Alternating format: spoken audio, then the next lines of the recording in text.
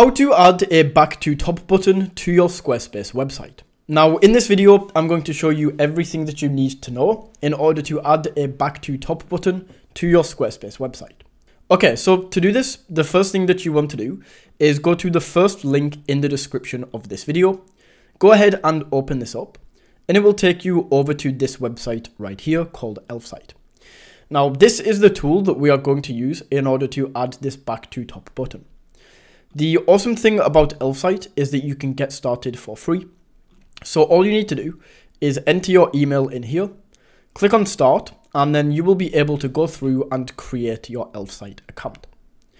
Once you have done that, once you have signed up for Elfsight, all we then need to do is click on widgets at the top.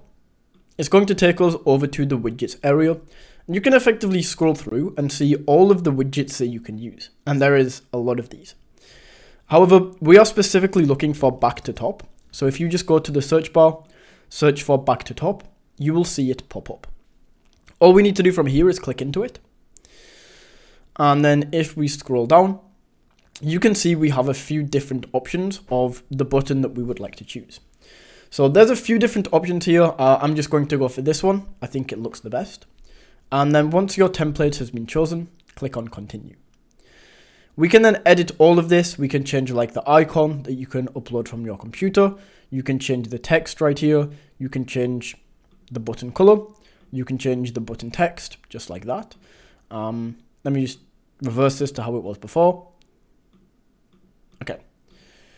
Once that is done, you can also change like the radius of like the circle, how big this is, and everything like that. Once that is done and you have customized this and effectively it looks how you want it to look, what we can then do is click on add to website for free. From here, it's then going to save the widget and bring up like a final view of how this is going to look. And if you're happy with this, click on publish. It's then going to ask you to choose a plan. Now, the plan that you go for would depend on how many monthly website views your website or even your client's website gets. However, if you want to try this out for free, just see how Elfsight works, there's also a free plan.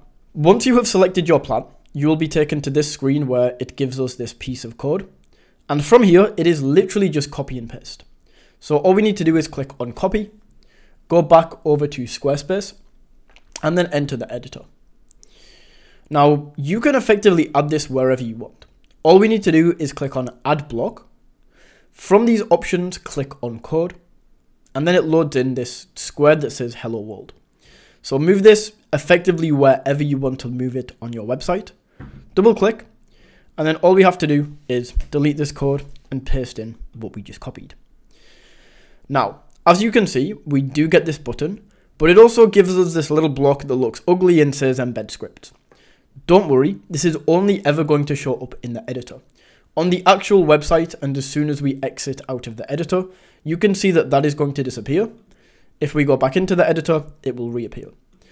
So just like that, you can see the top button remained. Let's just test this out just like that. And that is how you can add a back to top button on Squarespace.